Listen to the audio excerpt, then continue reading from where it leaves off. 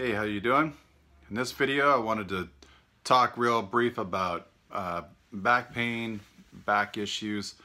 Uh, I've been dealing with back issues for a number of years now. Um, I am a firm believer in chiropractic care. I know some of you might not be, but if you've ever dealt with a back injury, you know how debilitating it can be. You know, I've had experiences before where um, re-injured my back and been bent over, you know, kind of kind of bent over in half for a whole weekend until I can go and get the get to the chiropractor so he can adjust me and I can actually stand up straight again. Um, you know, some some injuries are worse than others and it doesn't take much.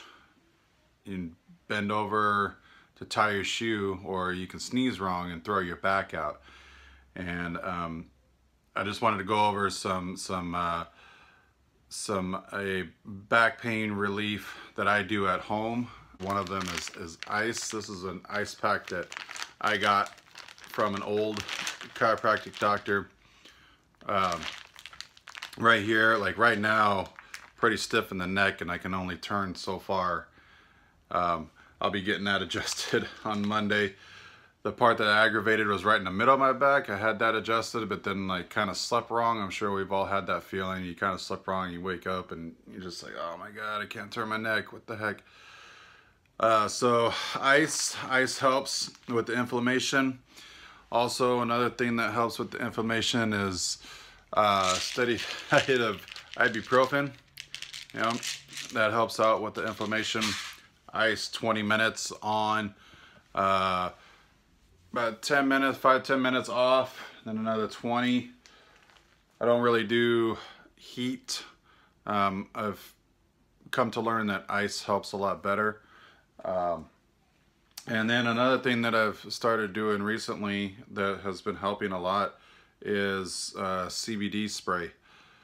And then I also have a uh, CBD ointment that I'll use, which helps out really well.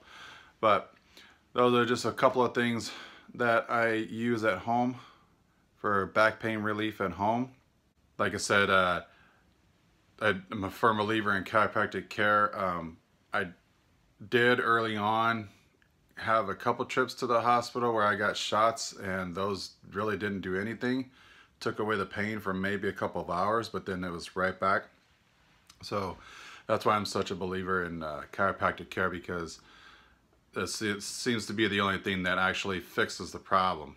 Um, if you've ever had any back injuries or back strains, neck strains, lower back pain, you know, uh, let me know in the comments below some things that you do to kind of help out. We can kind of help each other out here. And if you like this video, give it a thumbs up. And if you'd like to see future videos, consider subscribing to the channel by clicking on that subscribe button and you'll get notified of future videos as they come out. And until next time, I'll see you soon. Take care. Bye for now.